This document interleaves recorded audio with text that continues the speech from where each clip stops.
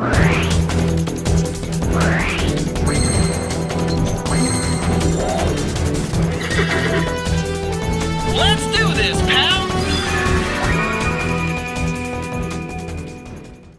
y'all, my name is Nick, aka Neshy, and this is my second place Crystal Beast deck.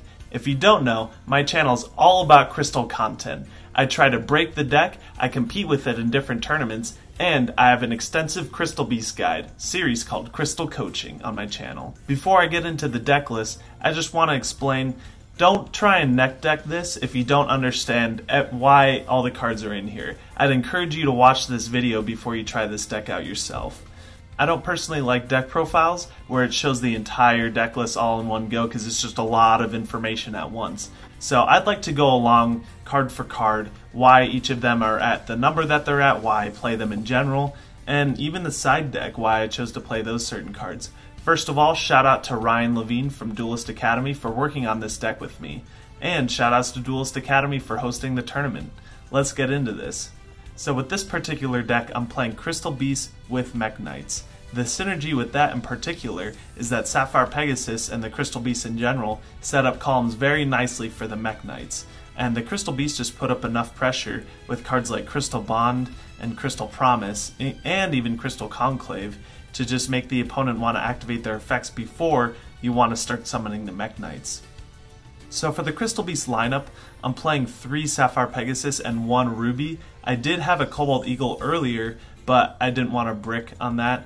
But it is worth it playing the Cobalt Eagle sometimes, not only as a way to search another name off of Crystal Bond in case you draw the Ruby, but it's also cool if you normal summon the Pegasus, you can put Eagle in your back row and Crystal Promise it out if your opponent has there can be only one up. So now you, you have enough to overlay into Tornado Dragon without having to use another Pegasus.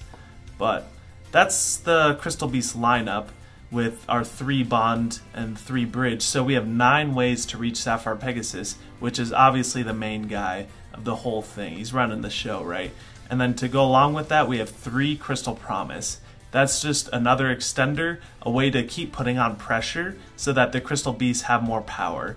And then the one searchable crystal conclave just as a way to control the game after you've already set up your you broke your opponent's board, you set up your opponent's board because maybe you couldn't OTK. So it's just a nice searchable card. Oh, people don't expect it at all. It puts Pegasus back in your hand. For the Mekk-Knight lineup, we're running triple blue sky, triple purple, pretty standard. They're just the best ones. They each plus one basically. One indigo and then one yellow. You can run the one red. I did miss it once in the tournament, but it didn't really matter in the end. I still won that game. But you can run the red if you really want to as another name. And you could run a second indigo. We're not running World Legacy Secret, so it might not be worth it. I'd much rather run the red if you're going to run another Mekk-Knight. Pankratops overperformed amazing card. I shouldn't even have to explain this. Nibiru, it's pretty awesome in this format right now.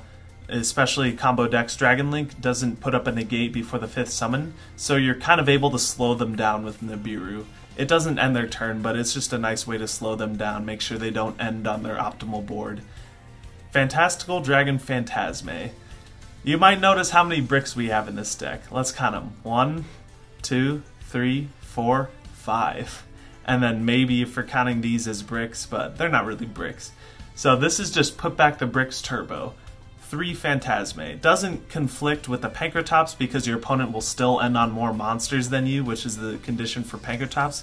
It doesn't conflict with Gamma either because you just Gamma first before you throw out the Thanos. Sometimes you will draw into the Gamma off of the Thanos, but it's it's pretty, you know, that's just unlucky. We have three Ash Blossom, just very versatile, can really hit any matchup. Three Gamma, the strongest hand trap right now, for sure. And then three Bricky cards because we are running Dragoon. He's just the most powerful boss monster of the format. And why wouldn't any deck run Dragoon? You know, this, that's the boss monster, monster Crystal Beast wish they had. For the extra, we're on two Dragoon and two Verte. This is kind of weird, right? This is for one reason in particular. I've gotten silver rocketed a couple times.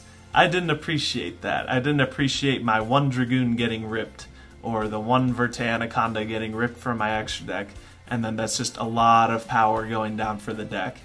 So I decided to run two mainly because I had the space for it and because of that. And you know, if my opponent has Lithosagym, then that's another way, but there's really just no point in not running two if people are going to Silver Rocket me. I know it doesn't happen enough, but it can happen. One Tornado Dragon, one Abyss Dweller, Utopia the Lightning. This is our rank 4 package that I opted for. It's This is all you really need. All of this came up pretty decently.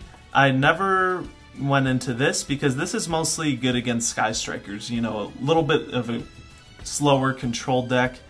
Uh, I imagine it'd be good against Eldlich, but I haven't gotten into it uh, against Eldlich yet. It's pretty much just against Sky Striker. So this is very cuttable if you just want to run a ding for the rank 8.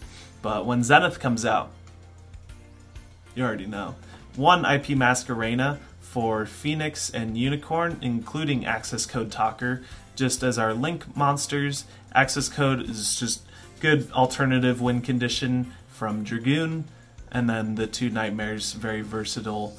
IP is just a good way to control the game, IP Unicorn. But the extra deck, I probably wouldn't change anything. Uh, we'd really have to just wait till Dragoon comes out. There's not really much.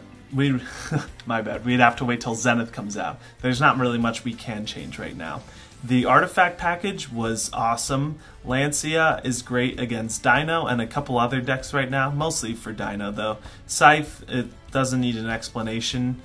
For back row hate, we're on triple Cosmic Cyclone, one Lightning Storm, and one Red Reboot. I didn't get to reboot anyone, but I did side it in. It's just very good card. Triple Tactics Talent is up. I'm actually opting for the side deck this time. Not main decking this card because it's a hand rip format, right? They're just gonna rip that Tactics Talent right out of your hand.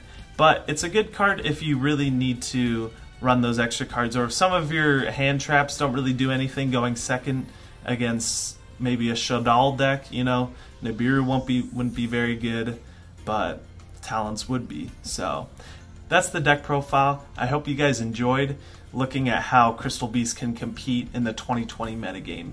If you really liked this video, subscribe, like, comment, and check out my other videos on my channel. Just scroll right through them and see what you like. But I'll see you guys in the next one.